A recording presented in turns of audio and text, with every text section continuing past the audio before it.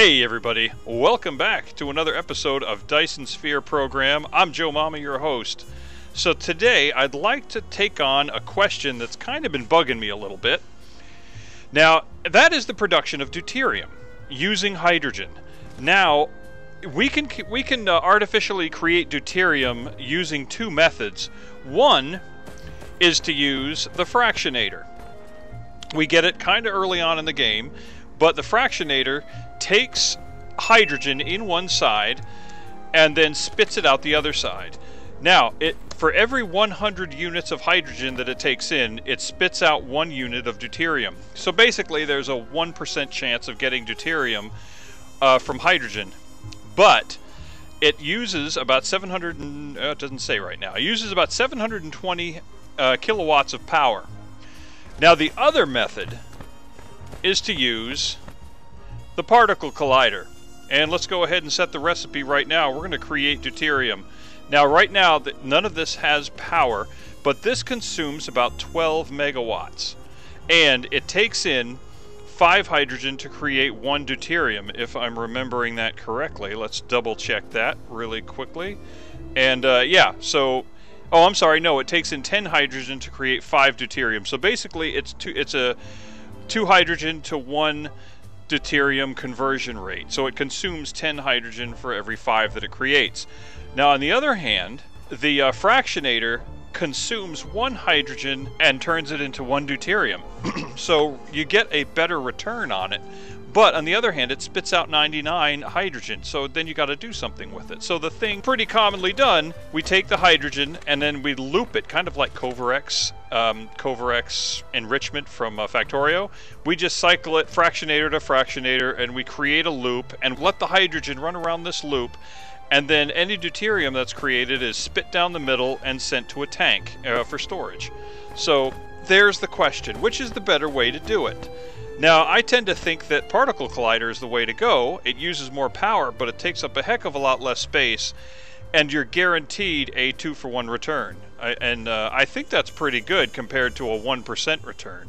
So, what I've done is I've decided to, you know what, let's put it to the test. Let's do an experiment and let us put together the same number of fractionators that consume the same amount of power as one particle collider. So divide 12 megawatts or 12,000 kilowatts by 720, you end up with 16.777 or 0.6667, which we're going to go ahead and round down and make it 16 because that's a nice number.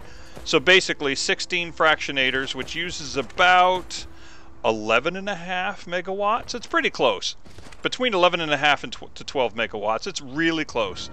But close enough, that's what we'll go with. So the other factor in the uh, fractionators is the speed of the belts going through it. Now, fractionators don't have a crafting time, whereas the uh, whereas the particle collider does. The particle collider takes, let's see, if we look at the recipe, it takes uh, five seconds, okay. In five seconds, it creates five deuterium, so one every second. That's pretty good. But if we take a look at these, there's no production time. In fact, uh, from what I've seen, is the the uh, amount of deuterium these produce is based on the number of hydrogen units that they can parse through. And the faster you pump them through, the faster they can parse them. So my thought is that the speed of the belts makes a difference. So I've set up three uh, three arrangements here, and each this the first arrangement right here uses a Mark One belt. The second arrangement uses Mark Two. The third arrangement uses Mark Three, Faster belts, obviously. So you can kind of my frame rate kind of sucks right now, but you can see it looks like it's running backward, but in fact that's a Mark 3 belt and it's going stupid fast. And then I've used Mark II belts to pull the deuterium into uh, into a collector, and I've used Mark III for in the case of the uh, particle collider. I've used Mark III sorters to uh, process the ore in and out, and I've got a nice collection of hydrogen here for each for each thing, and I've left a little bit of a buffer in the uh, in the high. Actually, I left a lot of a buffer in the uh, loop here because we one thing we don't want, we don't want the hydrogen to bind up. Okay, we don't want the hydrogen to fill the belt and then stop up.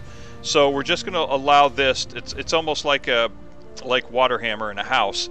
The hydrogen will not jam up as long as we've got an air gap in the uh, in the top of the tank there. So, and then this one here, it doesn't matter. There just needs to be a nice collection, and I've got about 8,000 hydrogen units. And here's what we're going to do. We're going to conduct a five-minute test, and I'll drop a Tesla tower right here at the uh, to start the experiment. Now, once it starts, we're going to let it go for 300 seconds. Once we get to 300 seconds, we're going to check these tanks and see how many uni units are in it. And of course, we'll remove the pole to stop the process. But uh, so I think that pretty much explains it. I think we'll go ahead and uh, we'll give it a start. The hydrogen is right at the door of each facility ready to go. So I think we're going to go ahead and kick that off. So let's go get the pole and we can time it it's probably going to be a jump cut, or not a jump cut, but a uh, time lapse. But if we look in the lower right hand corner, we see the time elapsed in the game, and we're at 49 seconds, 50 seconds. At zero seconds, we're going to go ahead and drop this pole. And then that means that'll be 31 minutes, 86 hours, 31 minutes. And then at 36 minutes, we'll pull up the pole. And 59, boom, 31 seconds. There we go. So let let it do its thing.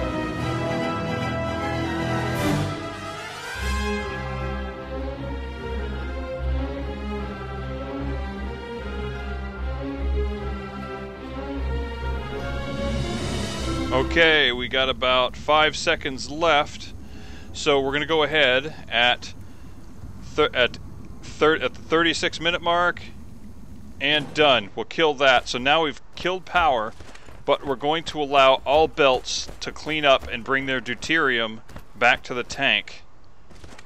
And do we have any deuterium remaining? It looks like it has all made it to the tank. Alright, so let's do the final count. Clearly, we can see this is less. How many? Okay, we've got 253 units of deuterium on the Mark 1 belts after 5 minutes. Alright. The next one, 493. Okay. So we've got about 500.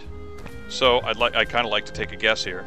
So if that's 12, and then the Mark 3 is 30, so that means this should be about two and a half. So that means 500 to two and a half would be, gosh, could it be about 1250?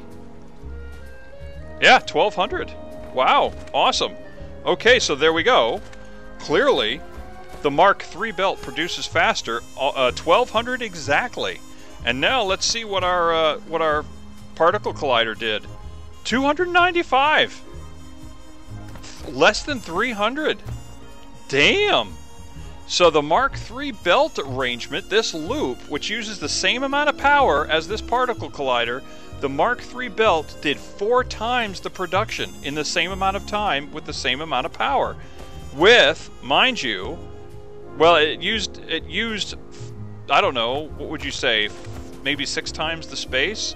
What that looks about let's see, two this is about that big, so I don't know, one, two, three, four, about eight so, okay, so it uses eight times the space, but the arrangement produced four times the production. That's pretty good. That is very awesome. So there you have it. Final numbers, once again, after five minutes. The Mark I loop arrangement of fractionators did 250, so the, uh, the particle collider did beat that out, okay? And then the Mark II belt did 493, which exceeded the particle collider. So the Mark II belts megawatt for megawatt will beat out the particle collider. So the Mark III belt did 1200 deuterium production in 5 minutes. And again, in 5 minutes, the particle collider did 295. So there you go. So there it is. It's official.